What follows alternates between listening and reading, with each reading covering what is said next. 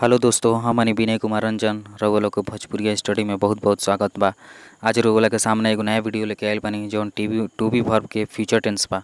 एक पहले हम प्रेजेंट टेंस के प्रेजेंट टेंस के टू बी वर्ब बता दिले बानी बहुत अच्छा से नेगेटिव पॉजिटिव दोनों, और बाद पास्ट टेंस के नेगेटिव पॉजिटिव सेंटेंस बता दिले बानी। आज लोग के सामने टू बी वर्ब के फ्यूचर टेंस लेके आइल बानी, जो हम रउआ लोग के बहुत बहुत स्वागत बा। तो चलिए जा स्टार्ट करी जा टू बी वर्ब के फ्यूचर टेंस का, टी बी वर्ब के फ्यूचर टेंस तो जना में use of shall be अविल be एमे बहुत यूज़ कइल जाला का चीज़ के शैल बी अविल बी के। तो देखिए जा कैसे यूज़ कइल जाला, जब हिंदी वाक्य के अंत में, जब हिंदी वाक्य के अंत में का लगेला गा, गे, गी हिंदी वाक्य के अंत में गा गे गी रहे और वाक्य के भाव से यह प्रतीत हो, का प्रतीत हो, यह प्रतीत हो कि कि दी गई स्थिति भविष्य में, काची में, भविष्य में भविष्य में स्थायी रूप से बनी रहेगी, का भविष्य में स्थायी रूप से बनी रहेगी तो ऐसी क्रियाओं की अंग्रेज़ी वाक्य में कर्ता के अनुसार, काची के अनुसार, कर्ता के अनुसार शैल बी आ विल बी में चेंज हो काची में शैल बी आ विल बी में चेंज हो माने चेंज हो जाए। तो नीचे के दे दिए गए टेबल को समझ कर अपना कॉन्सेप्ट क्लियर करते थे एक बाद हम जौन टेबल बनैले बनी, ओकरा में रोगल बहुत अच्छा से कॉन्सेप्ट क्लियर हो जाए कि मैंने कर्ता के अनुसार, कर्ता के अनुसार शैल भी या विल भी मैंने कब लागी? तो एक के बहुत बढ़िया से समझ जाए के जब हिंदी वाक्य के अंत में का हिंदी याद कर लेगा कोई हिंदी वाक्य के अंत में गा, गे, गी रही वाक्य, आ वाक्य भाव से यह प्रतीत होई का प्रतीत होई प्रतीत होई कि स्थिति भविष्य में स्थायी रूप से बनी रहेगी, का भविष्य में मतलब फ्यूचर में का भविष्य में जौन बा भविष्य भविष्य के इंग्लिश में फ्यूचर कहल जाला, फ्यूचर कहल जाला तो फ्यूचर में माने स्थायी रूप से बनी रहेगी। तो ऐसी क्रियाओं को अंग्रेज़ी वाक्य कर्ता के अनुसार का के अनुसार कर्ता कर्ता जौन एजा बा सब्जेक्ट बा, कर्ता के अनुसार भी अभी भी चेंज अभी एक बाद इथी देखल जाऊँ तो आगे ही जाइल देखे का आइल टेबल आ गेल। तो टेबल में समझ जाए बा, बहुत अच्छा से टेबल बतावल बा। तो पर्सन का, पर्सन सिंगुलर आ प्लूरल का, सिंगुलर आ प्लूरल। तो कब? तो देखिए, फ़र्स्ट पर्सन जब फ़र्स्ट पर्सन हम पहले पास्ट टेंस में या प्रेजेंट टेंस में बता देले नहीं बहुत अच्छा से बतैले बानी। वीडियो ना देखले हो कम से तो ज़रूर ज़रूर ज़रूर देखे काम बानो। ओमे एकदम अच्छा से इतना अच्छा से समझा देले बन टेबल हो कि एकदम पूरा याद हो जाए एकदम इतना याद हो एकदम पूरा, बहुत अच्छा से याद हो तो देखिए, फ़र्स्ट पर्सन की कहा बा? देख, आई के साथ का लगे? आई के साथ शैल बी लगी। का लगी? आई के साथ जौन आई बा, आई के साथ का शैल बी। आ उहे विल वी बा, वी का हुई? वी शैल बी लग जी। का शैल बी लग जी। तो देखिए सिंगुलर में आई के साथ क्या लगता? है शैल बी सिंगुलर में आई के साथ शैल बी लगता। आ वह प्लूरल बा प्लूरल बा तो प्लूरल में का वी वी के साथ शैल बी लग जी तो उहे आवेल सेकंड पर्सन में आवल देखो, सेकंड पर्सन में का बा? सेकंड पर्सन में यू बा तो यू के साथ का लगी? यू के साथ विल बी लागी का? यू के साथ विल बी लागी। ये जे शैल बी ना लागी का? यू के साथ विल बी लागी। और वह प्लूरल में, सेकंड पर्सन के प्लूरल में देखा तो यू के साथ का लगी? विल बी लग जी का? यू के साथ विल बी लग जाए अब देखिए, थर्ड पर्सन बा, जौन थर्ड पर्सन के, थर्ड पर्सन का उपयोग जाला ही see it.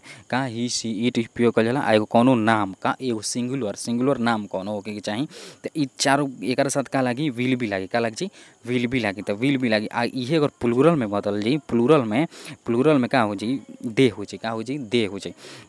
He see it और कोनो नेम मने एकर के हिंदी में कहा वह का लड़का के साथ ही लागेला तो ओकर साथे वह कहल जाला सी मैंने लड़की के साथ तो के वह ईट मने निर्जीव वस्तु या कोनो जानवर के साथ लागेला तो ईट हो जाए मोहन के साथ तो एगो सिंगुलर रहे तो साथे वे दे के का हो जाए वे दे के वे हो जाए तो साथे का हो जाई? विल भी लागी का? विल भी लग जाई। तो देखिए इतना टेबल आसानी से इतना आसानी से हम बता दे बनू कि याद हो जाए, अगर वीडियो प्रेजेंट टेंस के टू बी भर पास्ट टेंस के टू बी भर ना देख ले कमचा तो उ ज़रूर देखी जाए में टेबल इतना एक्शन से हम बता दिले बानी कि उ समझ में आ जाए। तो देखिए इतना टेबल समझ में आ गेल हमरा लागत है कि हमारा पूरा बढ़िया से रोगल को समझ में आ गेल है तो देख लीजिए आई शैल बी ओकरा बाद वी के साथ शैल बी लग जाए। अब देखिए एक बाद अब देखल जाओ इथी का कला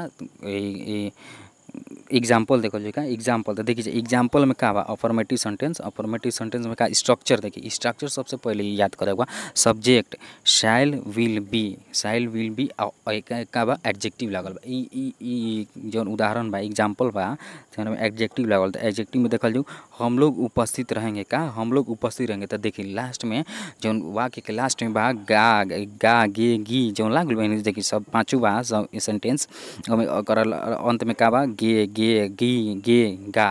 देखिए लास्ट वाक्य के लास्ट में का होके के चाही? गा, गे, गी रही तो फ्यूचर टेंस प्रतीत हो का फ्यूचर टेंस आ बाद का कर्ता के अनुसार चेंज होई का कर्ता के अनुसार तो टेबल हम बता दिल बानी।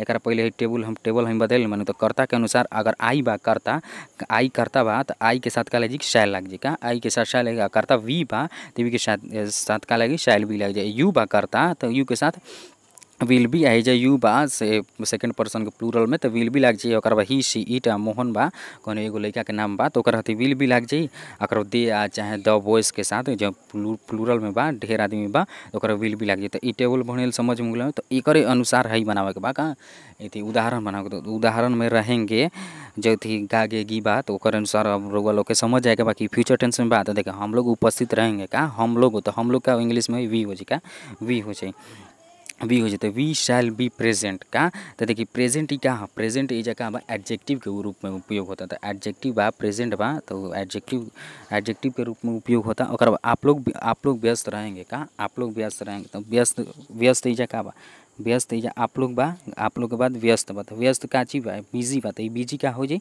एडजेक्टिव हो जाएगा एडजेक्टिव एडजेक्टिव पे हम उदाहरण बताते नो ये माने फ्यूचर टेंस के टू बी भर में जौन लास्ट में एडजेक्टिव उपयोग कइल जाला, ओकर, ओकरा बाद एक और नाउनो बा तो नाउन के हम दे बा नाउन के बाद एक बाद हम बता दें तो पहले एडजेक्टिव के देख लेल जाओ और भूखी रहेगी क्या भूखी रहेगी, गा गेगी लास्ट में लागता तो भूखी रहते she she will be hungry का she will be hungry hungry. वे लोग असभ्य रहेंगे का? वे लोग असभ्य रहेंगे तो का? दे विल बी अनसिविलाइज का? अनसिविलाइज हो जाए मैं खुश रहूँगा का? मैं खुश रहूँगा। कब माने पास्ट टेंस में। यदि सॉरी पास्ट टेंस ना फ्यूचर टेंस में मैं रहूँगा, गागेगी जब तो फ्यूचर टेंस में मैं खुश रहूँगा तो I shall be I shall be happy है जा आई दूगो लागुल बा तो एक काट देवे के बाद आई शैल बी हैप्पी हो गई। तो एक बाद देखिए, अब ओकरा बाद थी एडजेक्टिव देख लेनी चाहिए और नाउन में देखल जाऊँ नाउन में कैसे एक उपयोग हो जाला?